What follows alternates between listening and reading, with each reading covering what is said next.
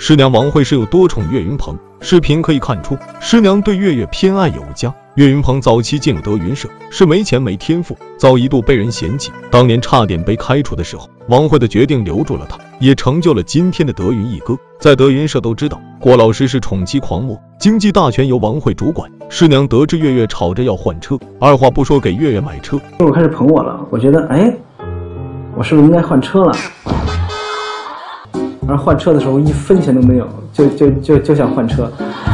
后来我师娘给了我钱，让我去买了一辆新车，然后回回回来，加油的钱都没有，连加油的钱都没有，居然敢去买车。在德云社恐怕也只有岳云鹏。每当师徒俩聊起这段往事的时候，郭德纲都会开玩笑的说道：“你应该让师娘只给你加油的钱。”师娘不光给月月买车，在岳云鹏母亲重病的时候，也是二话不说付了十几万的手术费。岳云鹏曾在采访时说道：“救命之恩难以为报，这辈子跟定师傅了。”在生活上，王慧也是很会照顾徒弟的，甭管多少钱，他觉得我师傅穿不合适了，他就会给我。当然叫我的时候多啊，上楼。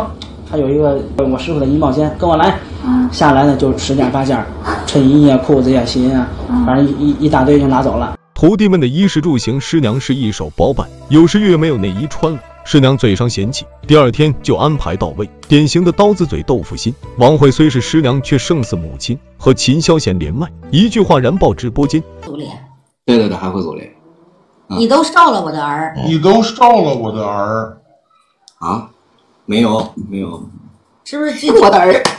师娘的一句话，你都受了我的儿，可把傻子秦激动坏了。看似简单的一句话，却是师娘对老秦莫大的肯定。这么多年来，不管是郭麒麟也好，其他徒弟们也好，甚至包括出走的那些，都没说过王慧半个不字。台上疯狗般的九男，私下接到师娘的连麦，也是面红赤耳。快打一招呼，我们考考试了啊！师娘，哎，上场了。哎，峰哥他们演演了一场，师娘。啊，好。哎。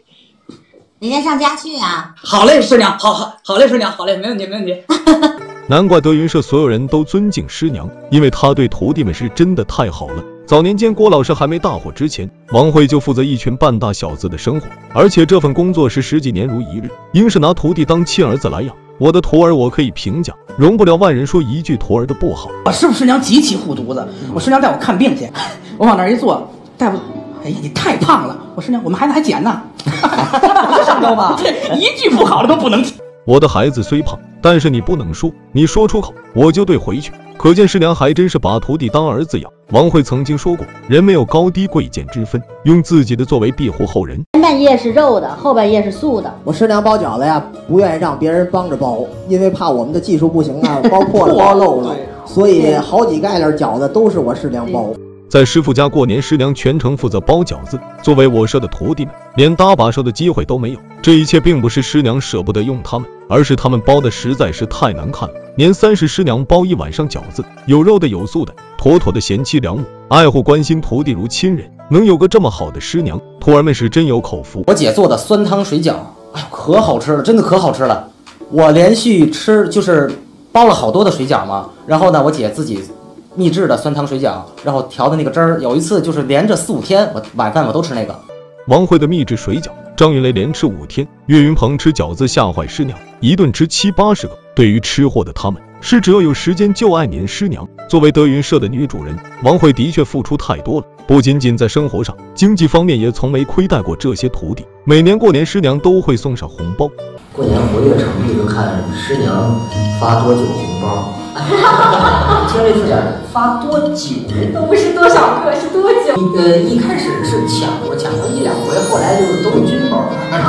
对，我们小时候是这挺幸福，因为我们不用发。